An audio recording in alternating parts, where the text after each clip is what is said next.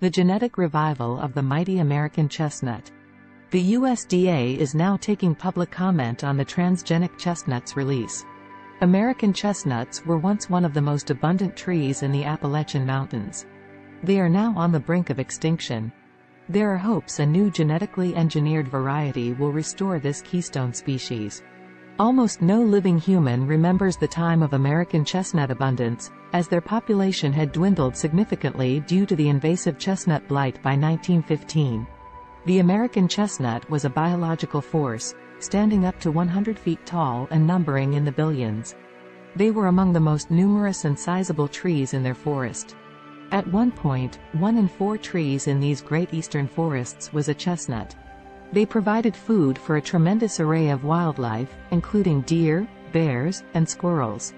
Their nuts were also a likely food source for now extinct species such as the Carolina parakeet and the passenger pigeon.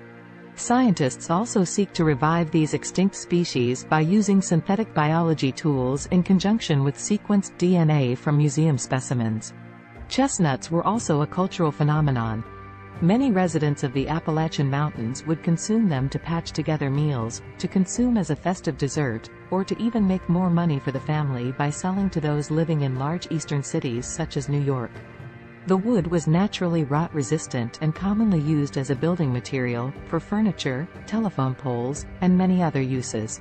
Chestnuts were largely taken out by the invasive chestnut blight, an invasive fungus from Asia.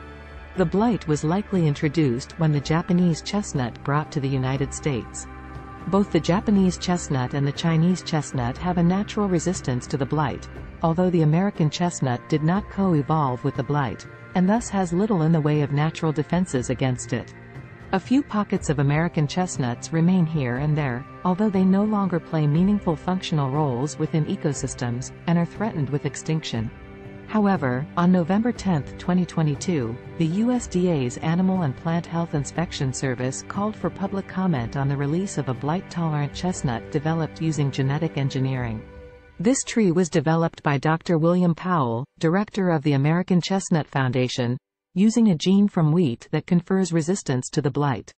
This project has been over a decade in the making, Perhaps the most important implication for pending approval of a genetically modified tree is what this may mean to the release of such species in general.